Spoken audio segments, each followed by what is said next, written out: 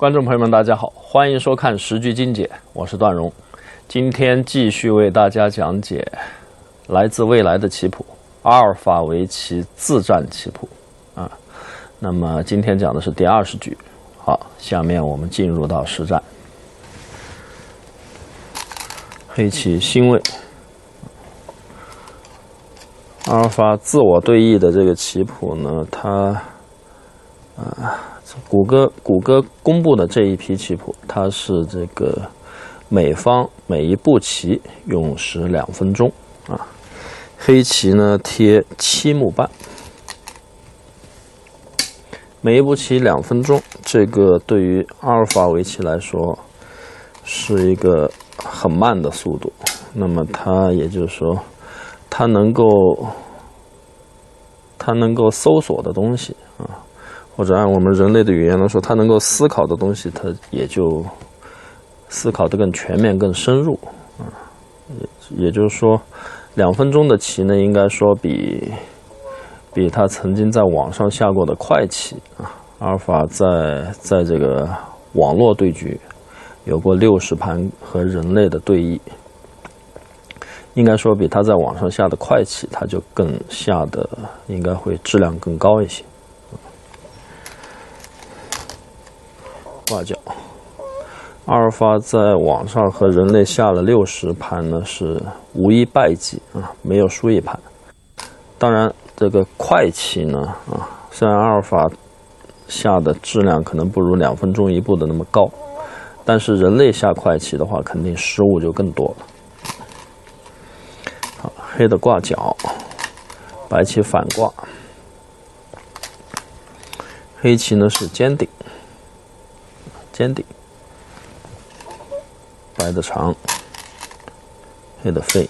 尖顶这个手法啊，在最近一段时间，在人类的棋谱里面也是很常见的。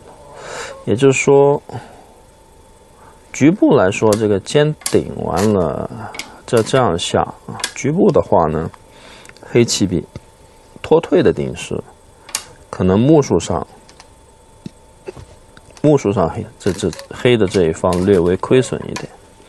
我们就看局部的话，白棋同样是连二拆三，而黑棋的空呢小了一点，而且也没有脱退角那么角那么厚实。但是就现在这个局面的方向来说，黑棋可能判断这边黑的挂了角，白的挂了角以后，下边相对来说是相对来说是比较窄的地方吧。那么这边黑棋有飞压，所以尖顶呢，特别是尖顶的飞起来啊，逼迫白棋在这边走棋。你如果不走，黑棋加攻过来还是相当价值相当大的。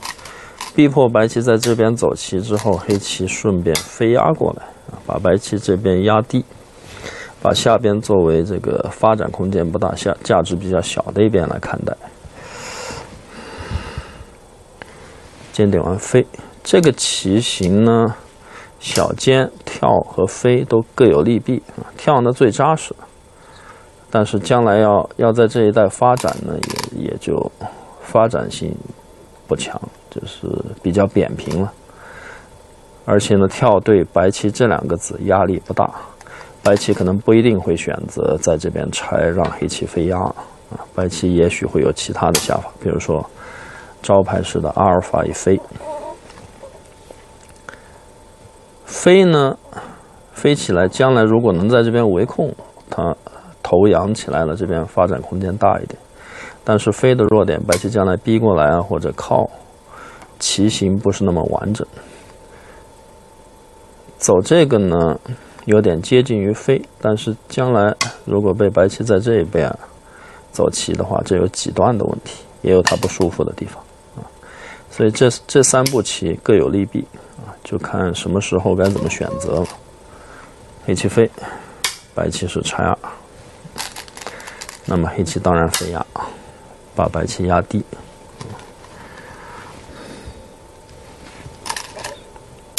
白的爬，爬完跳出，这个飞压也好，或者尖顶也好，都是。比较普通的、正常的下法。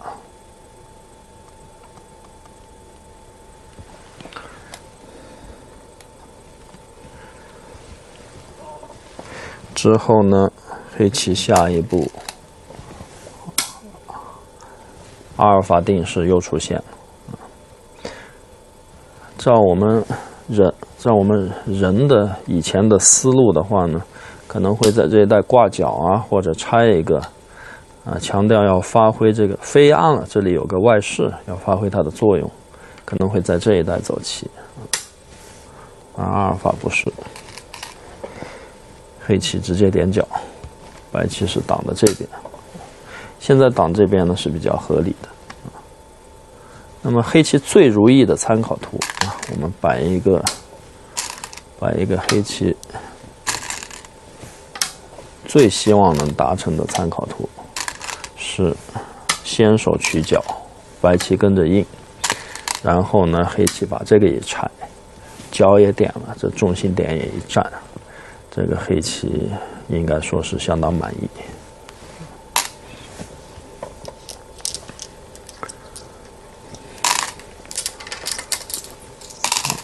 白棋选择的是这个挡，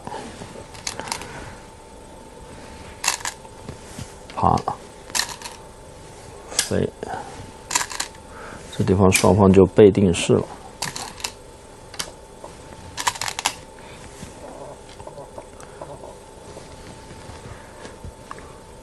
就这个局部点三三来说啊，局部点三三的变化啊，其实并没有多少特别新鲜的东西，并不见得有多少特别新鲜的东西。就是说，人人在这个在以前啊，他不会在这种时候选择点三三，或者在很多局面都不会选择直接点三三。我们一般有句话叫“两翼张开点三三”，嗯白棋在星位加上两边拆了之后，黑棋再去点。啊但是经过阿尔法的这个，经过阿尔法的一些，呃，在网络上对人类的实战或者他公布出来的棋谱，哎，这个经过就是说棋手的研究发现，直接点三三也是相当不错、相当有利的一招。黑棋搬到这儿，那么下一步白的如果长呢，黑的也还是很舒服的。白棋长过来之后，啊，上边这个价值很显而易见的大场被黑棋占，限制白棋外势的发展。白棋实战呢没有长，而是贴起来，贴起来。白棋呢，他想他的思路是黑的，如果搬的话，这个搬头也是相当大的一招。但是黑棋现在如果搬的话，白棋现在先推几个，这边先扩张起来了，然后，哇，再长过来。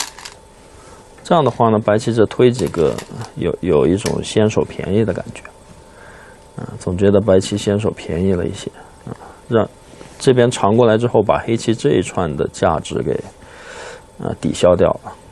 黑黑棋在这长半天，寄希望于在这围控，但是被白棋长过来，黑棋围不了控了。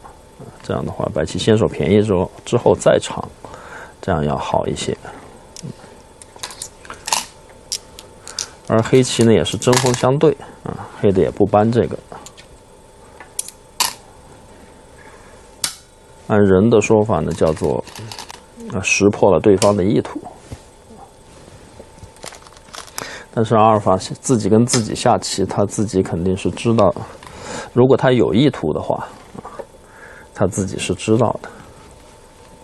但我觉得他每一步棋他都没有意图，他他都是只知道胜率，我怎么下，我我赢的可能性是百分之多少，他是以这个为这个依据来下棋的。那么黑棋既然打了力，白棋当然跳棋了。如果黑棋这里走一手，白棋去走其他的大场，黑棋再搬，哎，那黑棋这块就比较大。所以白棋跳呢，自己能发展，又限制了黑棋这个搬过来围控，同时对黑棋这三个子，也是施加了不小的压力。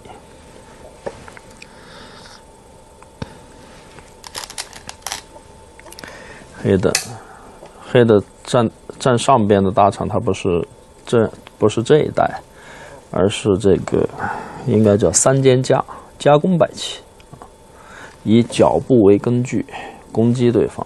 他他认为你这个是孤棋，所以他才会离这么近。好了，那么下一步，白棋直接动手啊。这地方可能啊比较平和的下法呢，就是战战大场，战战大场这一类的。嗯，直接黑棋这里虽然有弱点，但是白棋现在直接动手，这个也是是招法够激烈。黑的当然要冲了，黑棋如果这样走，那白棋倒确实也是立不下来啊，立的话被黑棋一拐。啊，白棋不管是挤完再立，被黑棋一断，这白棋不行，拐的话被扳死。嗯，这个断的话呢，黑棋争子有力，啊，拐完断被黑棋争掉。嗯，但是呢，白棋就退回去，你走这个的话，白棋虎头，这黑棋形状有点难受，这有两个断点，黑棋这个感觉。这形状比较软啊，它得得要，好像要补断的感觉，有要补断的感觉。那么，白棋就把黑棋压到二楼去了。所以黑棋冲肯定是最强应对，这个子不能被断吃，要接上。好黑棋不失时机的扳一下，这个扳呢是有必要的。黑的如果现在直接扳这个，白棋一扳，黑的退的话呢，白棋会扳这个，黑的挡，那么白棋扳到一下已经便宜了。这个先扳一下很重要，白棋再爬的时候。如果不扳，白棋爬黑棋是要弯道的啊，弯道一下已经把白棋的眼位破了很多。而白棋扳到黑棋打八是后手，总不能这个头被扳起来，黑棋也不能这样打，这样打被白棋粘上黑棋脚上，自己的眼位受伤了啊。那如果白棋能扳到，然后再再把这个粘上的话，那效果。和这个弯还是差别很，还是挺明显。而白棋现在要扳，黑棋如果拐的话呢，白棋爬这个，黑棋挡住的话呢，白棋就立就可以，立完接住，黑棋点上。如果点的话，白的搬这个，这样呢，黑棋是慢一气，但黑棋打吃在这好一点，这样有个扑劫。但是呢，局局部这个，呃，局部也是白棋把黑棋的这个角打截杀了。但黑的扳一下情况就不一样，黑棋先扳了一下。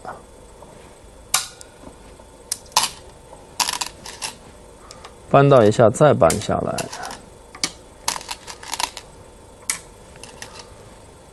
白棋如果再扳这个的话，黑棋就不打，而是拐这个。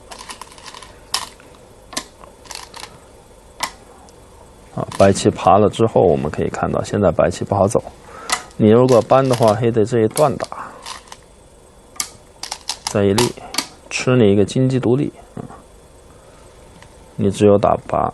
那么黑棋把你棋筋吃掉，那白的如果走这个的话，黑棋还要点死你。如果白的接这个呢，黑的顺手一接，这边要点死，这边要断，啊，这个白棋显然不好。所以黑棋扳一下的作用，扳一下的作用就是。在这个时候，他防了白棋搬这个，白棋现在只能爬。这个靠下来什么时候严厉呢？靠下来在白棋争子有利的时候特别严厉。也就是说，白棋搬黑的长的话，白的这一段如果黑棋争不掉，断一个黑棋如果争不掉，那白棋就厉害了。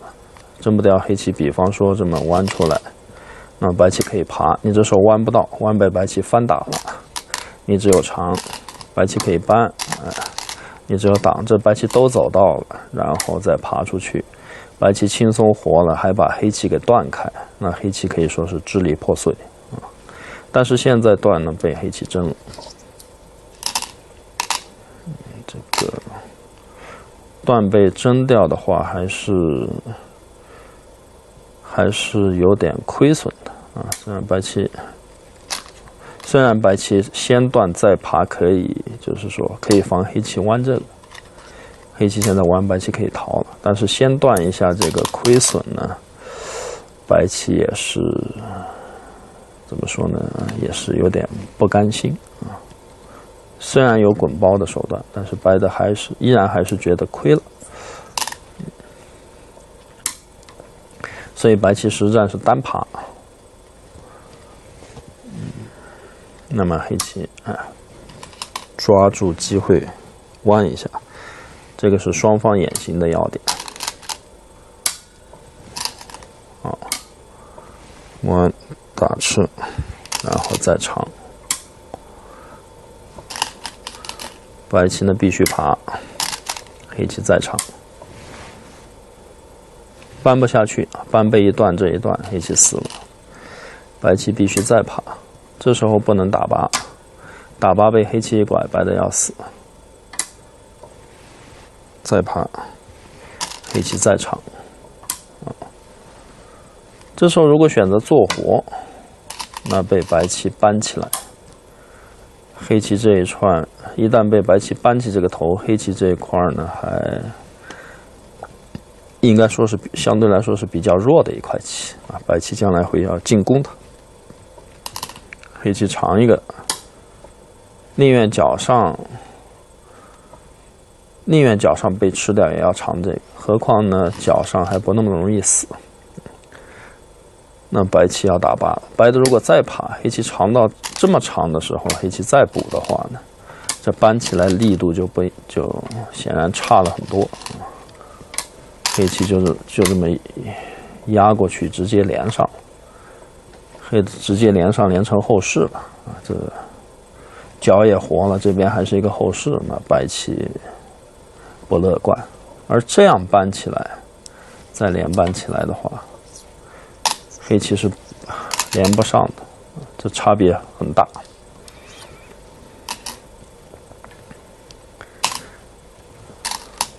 所以黑棋爬，这个时候白棋爬，黑棋长，白棋再爬是后手了，白的得打八，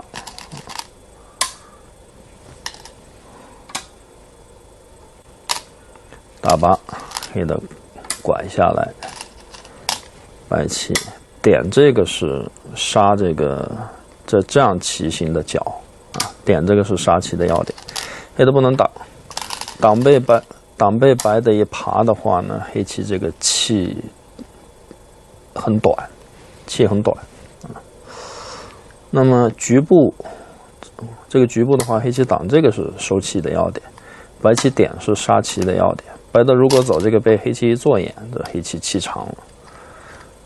点这个是要点。那么如果粘这个的话，被白的一爬，黑的死了。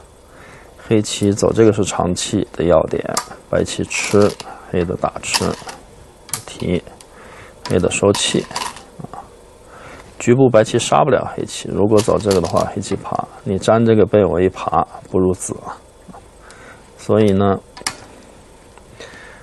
这局部实际上是走成这样，是一个双活，双活。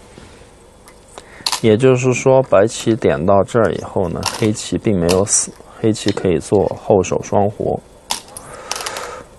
嗯，但是呢，就目前这个局面，在这做双活的价值不大啊。这这这个活这个角价值不大，大的地方还有很多，所以黑棋保留。飞这个。嗯这个地方白棋爬了这么多的二路，然后来杀黑棋的角，还留有一个双活，也就是说白棋的目数啊，白棋走的目数，实际上所得是很有限的。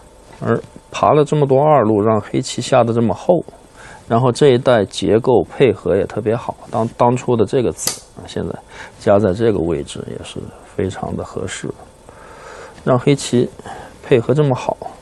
白的是否值得？这个我觉得是，我是，深深的怀疑这白棋的下法是不是值得。嗯，嗯，甚至可以说，如如果是人人这样下的话呢，啊，这个可能可能我们大多数棋手都会觉得，哎呀，白棋这个下法实在是太，又有点太过于怎么说呢？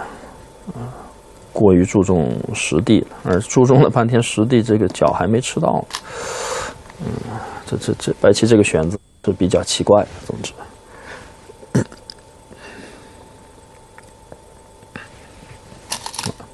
我很想知道这个局面下成这样，呃，阿尔法围棋设定的初始胜率，黑棋大概有百分之四十八的样子啊，四十八的样子。我很想知道下成这样的。局面，这个黑棋的胜率是有多少？是不是已经大幅度的提高？而这这个而这样的局面呢，实际上并不难预见啊。就是说，就就呃，人类棋手这这这个地方的变化，很多都是可以计算，基本上可以计算出来的。而阿尔法这样的高手，对于他来说，这这个下成这样的局面并不难预见。如果真的下成这样，黑棋胜率大大幅提高的话呢？白棋为什么会选择这个图？这是比较奇怪的事情。而如果而如果下成这样，他觉得是差不多，他如果觉得是黑白双方差不多，那么这个判断，这个判断就是说，嗯。呃，作作为作为我来说啊，作为我这样水平不怎么样的棋手来说，就是有点理解不了他的判断。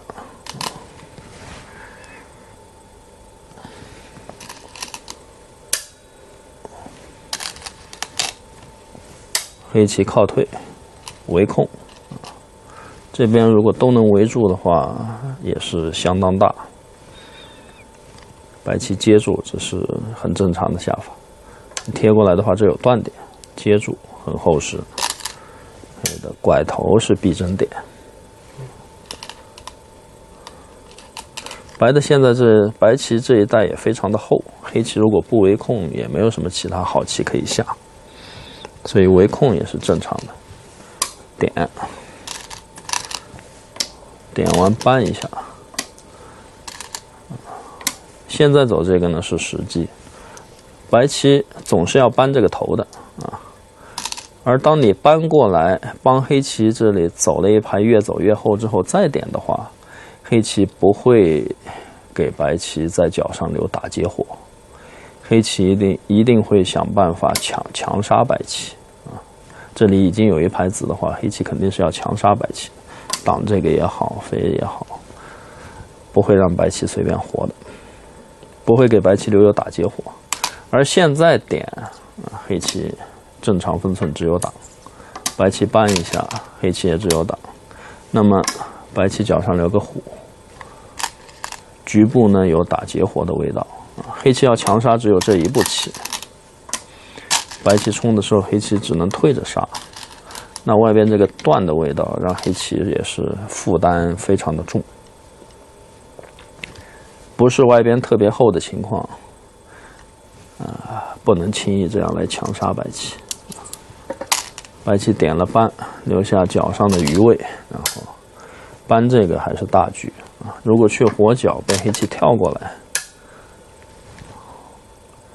那他就彻底的不是阿尔法围棋了。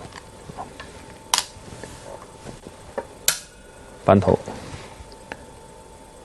先顶一下，先顶一下，这黑棋只能退，再扳头。黑的当然要扳，这白棋也必须连扳，这种地方都不能送。白棋退一步被黑棋贴过来，黑棋这空就长了一圈，而白棋在这边能围多少呢？看不出来，必须得扳。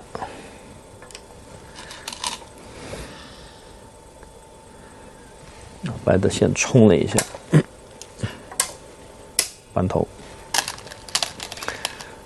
断打。长，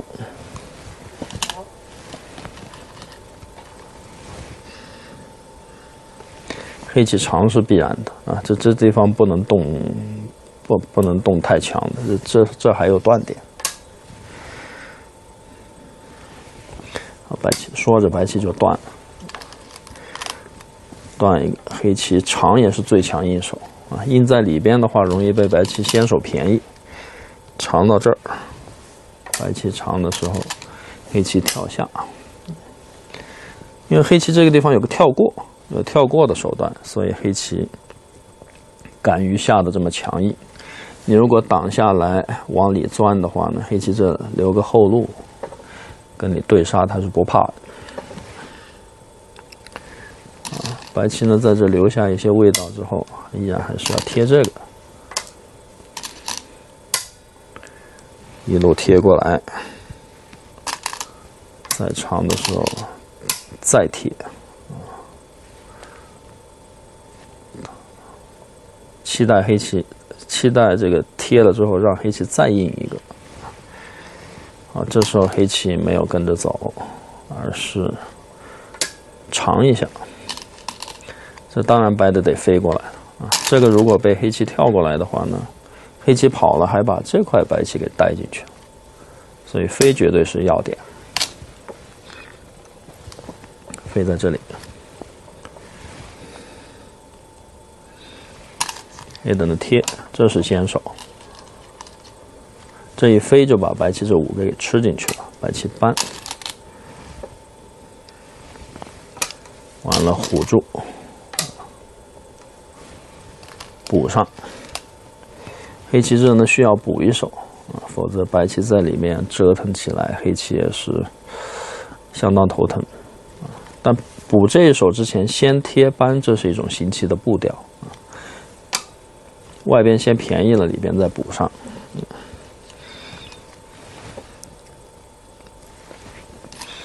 白的跳，把黑棋这两个子罩住。这个地方有有一步棋值得我们注意啊，黑棋长了一个，让白棋飞。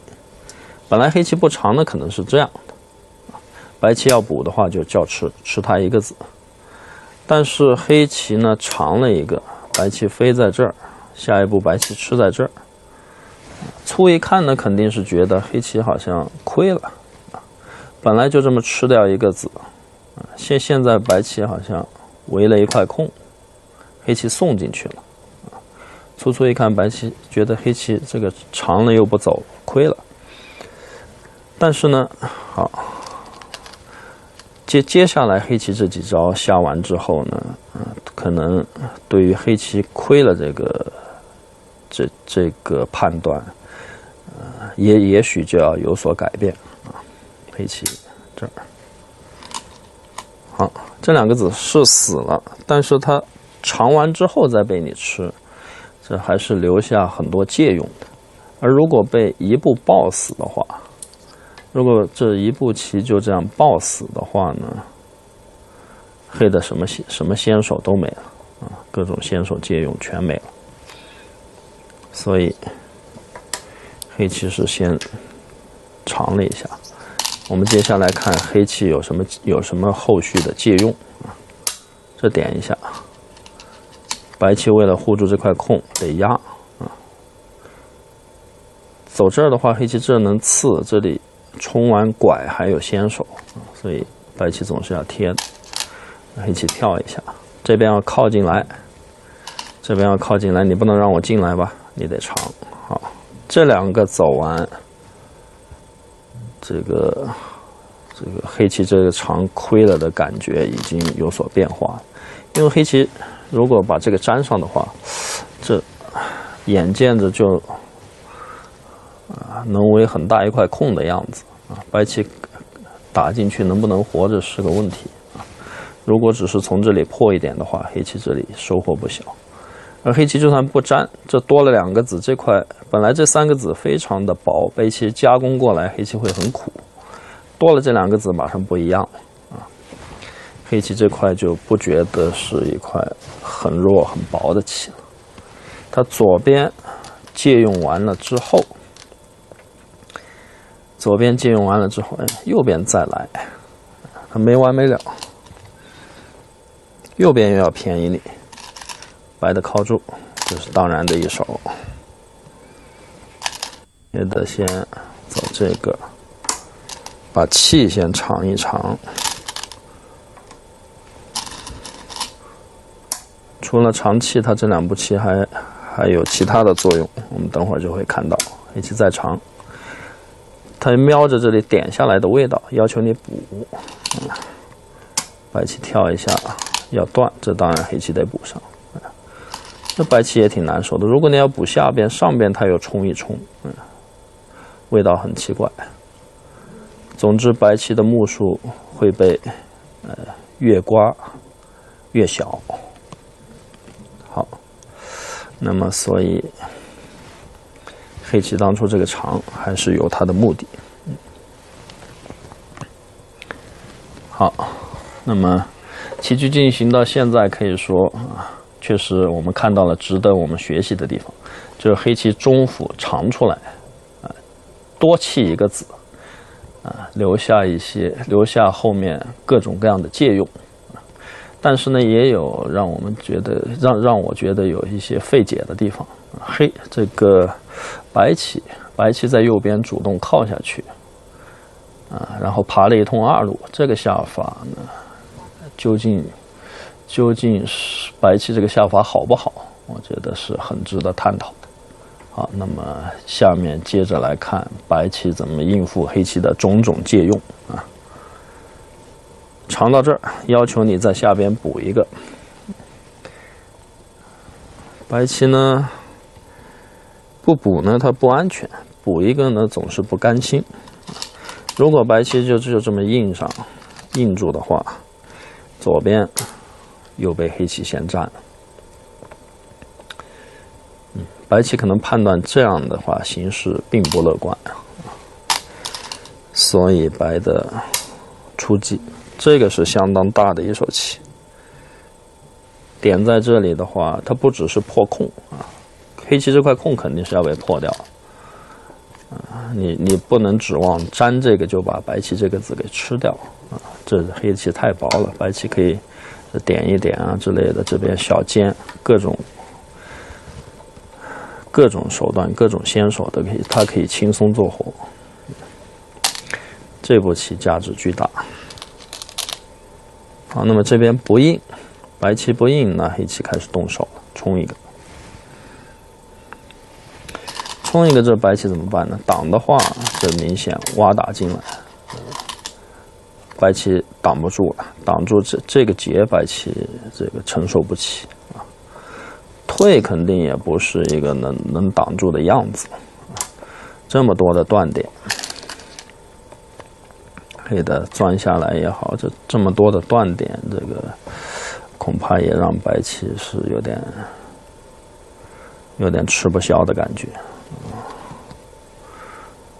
比如说黑棋钻下来，你总你不能再冲断了。冲断的话，本身脚上黑棋打吃先手之后，这打吃你粘不上的话，脚上就有棋。况且呢，这上边肯定也是非常不对劲。黑棋长这个，长这个都有先手味道，这有这有搂打。那么上边一断，这白棋只怕要。只怕是要崩崩溃的感觉，种种的种种的味道，比方说次先手，那么我打了压是先手，挖打之类的、滚包之类的，啊，很多问题。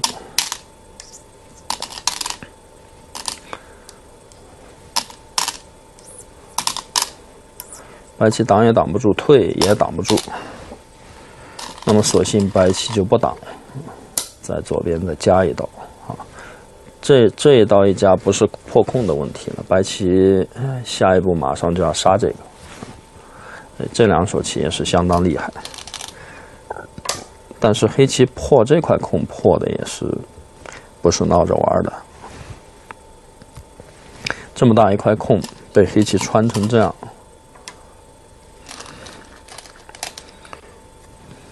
打吃，虎一个，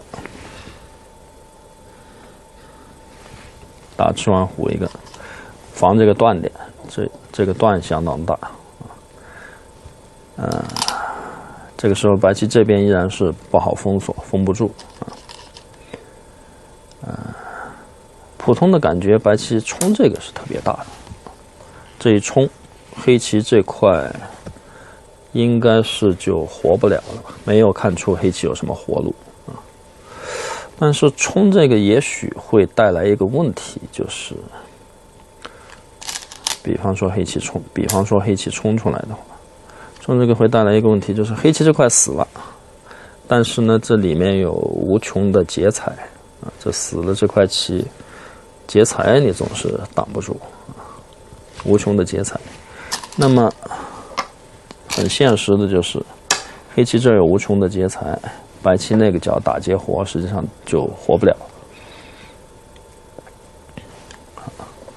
黑棋这有一很多劫财，这冲进来之后，中府白棋很薄，黑棋显然劫财是够的，所以白棋实战也没有把这没有把这个地方冲冲死，而是。虎这个，白棋虎这个，哎，要黑棋先表态，要不要跟我开劫？那么黑棋现在是脱先了，冲进来，冲进来，这也是非常愉快的一步棋。好了，白棋现在我们说的问题依然存在，你如果冲这个的话，黑棋开劫。眼见着用这边的劫财和中府的劫财，白棋那个角是劫打不过，而白棋现在先飞，黑棋当然要打，白的往上冲，先把这块做活，黑的不失时机的现在打一下，接上，黑棋再挡住。好，白棋一路搬，把这块棋给做活了。不搬的话，黑的一加，白棋就进死。一路搬，白棋把那块做活了。先断一下，然后再搬。做活了之后，下一步还有连回这两个子的手段。黑的当然不能硬了，硬的话等于被白棋先手活，先手活完再把这个一冲，那黑的肯定不行。好，我们接下来看黑棋的下法也是相当的紧凑，他不是不是在这边走棋，在这边走棋，黑棋应该是能想办法活出来的啊，不不至于白棋这一点一尖，黑棋就全部死光。但是呢。黑的招法更狠，直接把中府两子跳出来，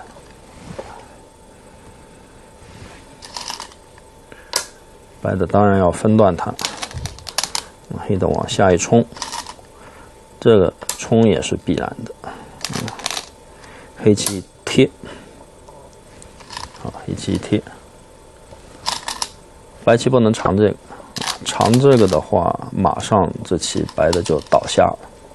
黑的这一冲，你必须断，拐，你必须挡，不挡的话这块死了，连的这块连带这块也死，必须挡。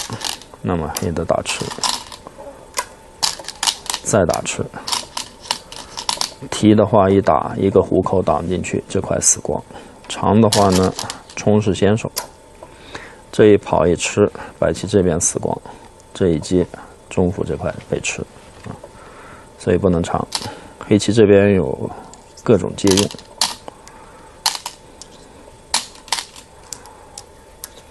用，白棋扳住，扳住是唯一的抵抗手段。黑棋断，白棋呢藏在这儿。白棋下的也非常的非常强，非常的顽强啊，嗯全部扛住，嗯，那么我们来看一下这棋的话，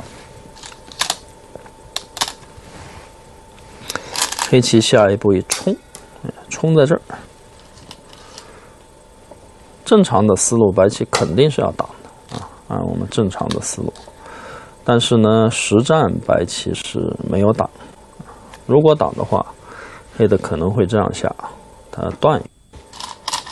如果你站在这里，那么黑棋这个托是先手，这角就可以活得非常愉快啊。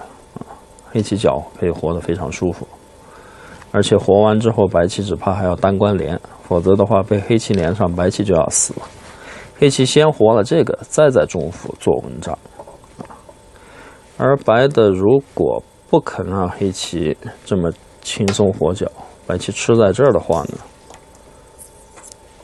我们看一下黑棋冲这个是先手，拐的时候白棋是必须挡的，我们可以看成这样。那么黑棋当黑棋顶这个的时候。白棋也是必须粘上啊，因为黑棋这个绝对是先手，我们可以看到一打一打再一扳，白的肯定就死了。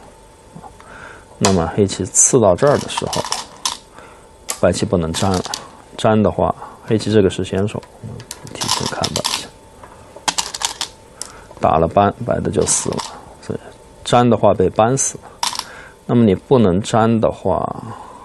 不管你走哪，这被冲过来也是难以忍受的事情白棋补不好，还得再补，否则这被一扳，这也要出大事情。那么被黑棋冲了，在这个贴住，这白棋也是崩溃啊！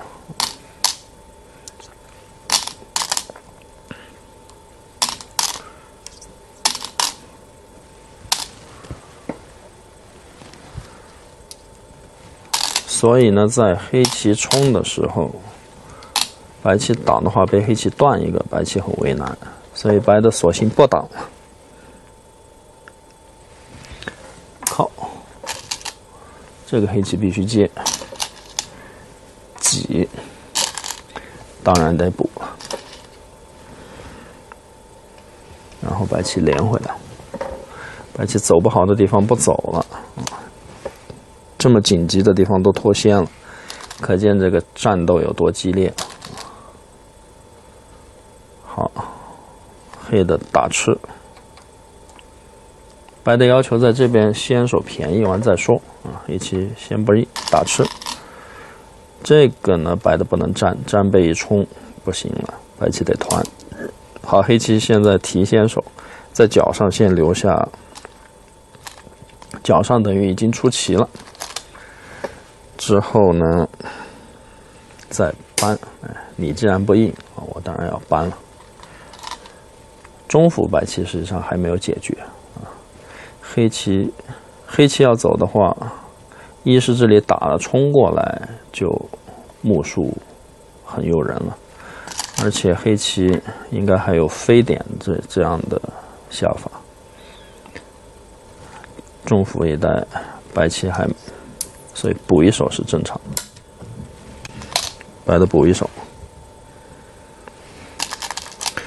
提一下，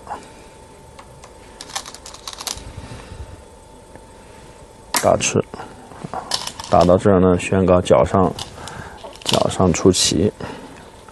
好，白棋这里活角也相当大，不活黑棋再补一手，这一来一去好几十目啊。白的弯一下，活角，黑的点这个是要点，白的很痛苦，得单关连上，很难受，但是呢，没办法，不连它没活，一起接上，之后呢，并一下。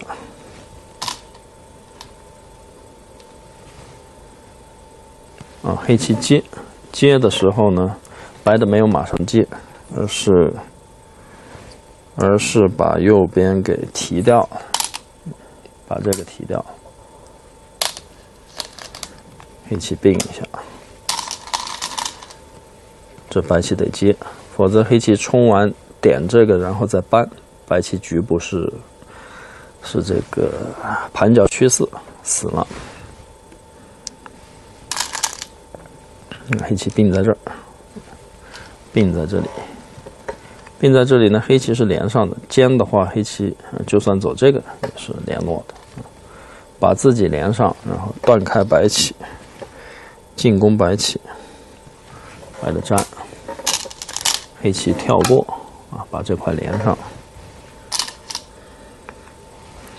之后白棋飞，做活这两个子，黑的搬一下。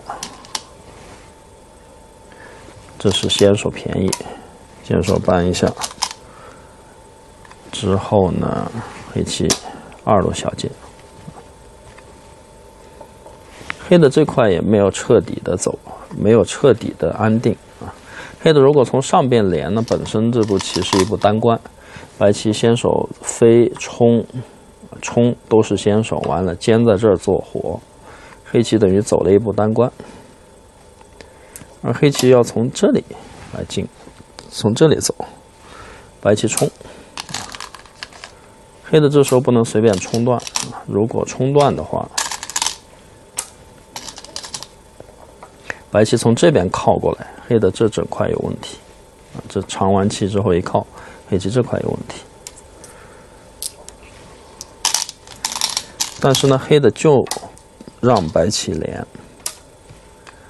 这样的话呢，黑棋不走这个单关，让白棋连上。实际上，白棋连上也没有什么目数的价值。而黑棋尖到扳到的话，黑棋是实实在在的走在目上。好，之后黑棋扳这个，扳了这个之后，这地方形成一个很很奇怪，对于白棋来说很奇怪、很难解决的问题，就是说，白的要走的话。这地方顶多走成一个双活，顶多走成一个双活。但是白棋不走的话呢，黑棋是可以打劫杀白棋的啊。黑的先收气，白的没法走，除了提这个劫之外，没有什么事情可干。黑棋永远都可以，黑棋找劫提回来了之后，黑棋将来是可以打吃。打吃白棋除了提这个劫，又没有什么事情做。黑棋一旦撑住，能打赢这个劫，将来是可以提白棋提，黑棋再打吃。黑棋是可以选择收气杀白棋，所以黑的当初打了拔掉这个子是是有相当的价值。半，白的管一下，虎挡住。挡住之后，这有一冲断，冲完可以断。如果没有这个子呢，冲断被黑棋冲挡断，叫吃长吃吃吃死，所以挡是先手，黑棋补上，白的叫吃，黑棋连上，飞冲。这都是白棋的先手便宜，白棋的先手权利。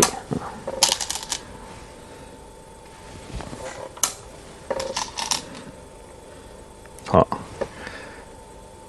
先手先手官子走完了，白棋把这个粘上，粘上呢，这这里味道就很好了啊。黑棋中间四个子是彻底的没什么没有什么余味了。啊，黑棋打，下一步有加的手段，这一加里面是个万年劫，所以白棋补一手。虎，白的冲，虎一个先手做眼，这也是很愉快的。然后虎这个，虎了这个之后，瞄着中府靠断，要白棋收气吃。这一靠段，要白棋将来收气吃。嗯，白的打一下，黑的粘住呢，担心这里中间有各种种的怪味儿。黑的稳健的虎在这里，虎刺，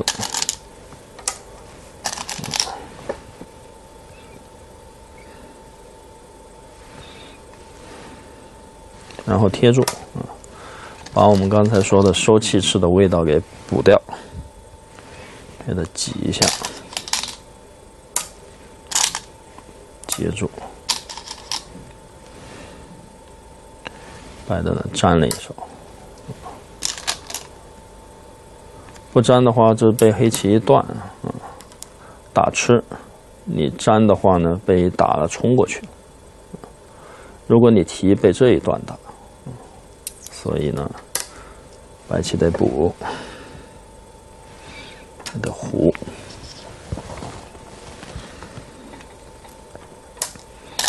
挤，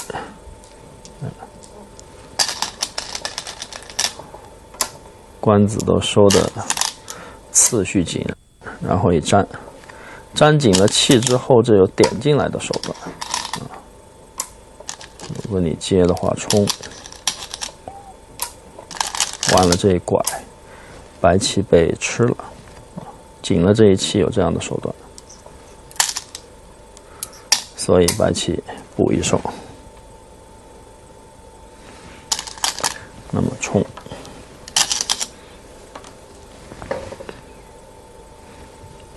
白棋提了一下，贴回，黑的挡住，黑棋冲了挡住，也有不小的价值。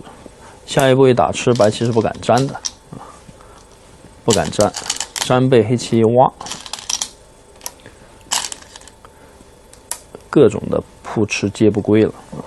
打紧了，再打，再断打，吃了一个皆不归，所以挡住本身有你说三目，还含着下一步有挖吃，也是有相当的价值。那么当然挖吃呢，只有只有四目半，应该是啊四目棋，所以呢，白棋粘这个更大。白棋肯定是没空去提，这地方白棋要补干净，他得提完再粘上，提了再粘上，两步棋才能补干净。补干净了之后，黑棋收两个官子，白棋肯定是不够，所以白棋没空去补啊，白棋得抢官子，那么黑棋大吃，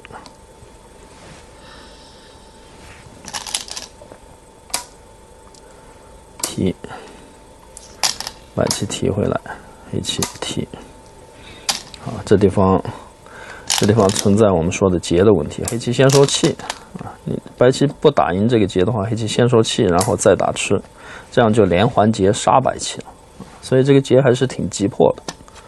走成这样的状态，连环劫，白棋已经死了。所以黑棋呢提，白的找劫，啊。提回来，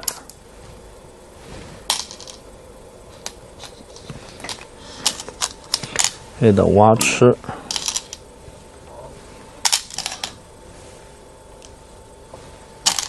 把这个四目多先吃下。黑白的要是补呢，黑棋就算了，黑棋再去收个官子。白的挤住，白棋不补，拒绝补气，抢官子。一起提，挖吃，那么从这招法就可以看出来，也就是说，白棋刚才如果补棋的话，肯定输了。白棋决定拼一下，这个连这个都要冲掉，谨防黑棋逆收。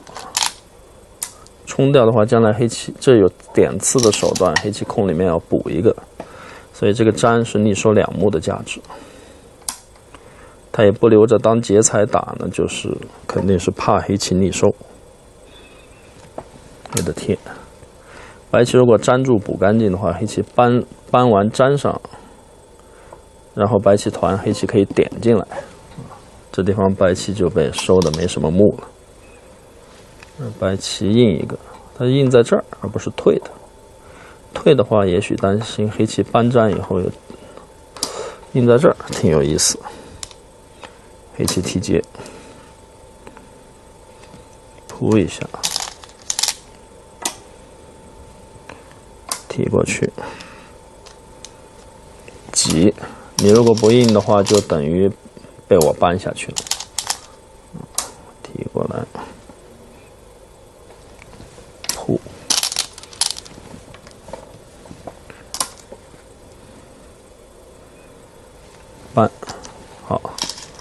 走到这里呢，白棋觉得再硬下去，这个劫要要打不过，所以白棋粘上。好，这下安心了，这块双活。那么黑棋打吃，黑棋等于还是收了，吃掉这个和搬进来这两个官子啊。白棋的顽强呢，没有取得效果。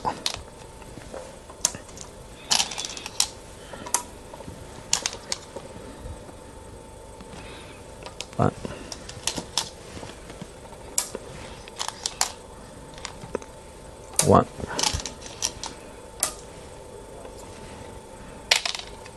立啊！这立有三目棋的价值，呃，三目棋的价值，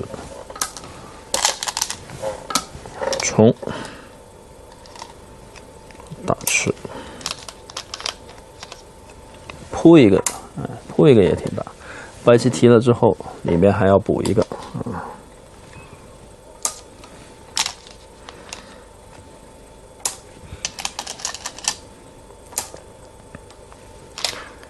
先手一目，走掉。这地方我们可以看成黑棋冲这个是先手啊，所以白棋打吃是先手，这样的话冲也是先手一目。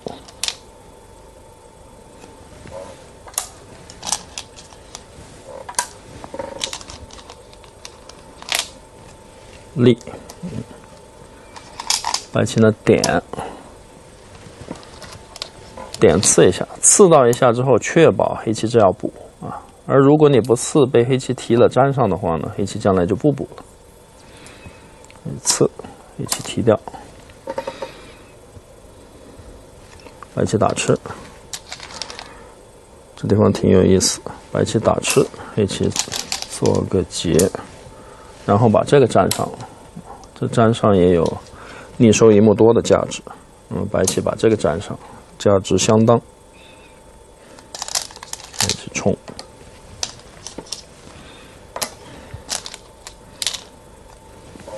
小尖是先手，接下来团也是先手。这一打一拖，白棋打劫杀了，所以得补。冲，打，好，罐子呢，黑棋搬砖之后，基本官子就收完了啊。那么最终这盘棋啊，黑棋是取获胜啊，黑棋取得了胜利啊。这个布局阶段，白棋的下法呢，啊，值得探讨。好，这盘对局就为大家介绍到这儿，谢谢您收看，我们下次再见。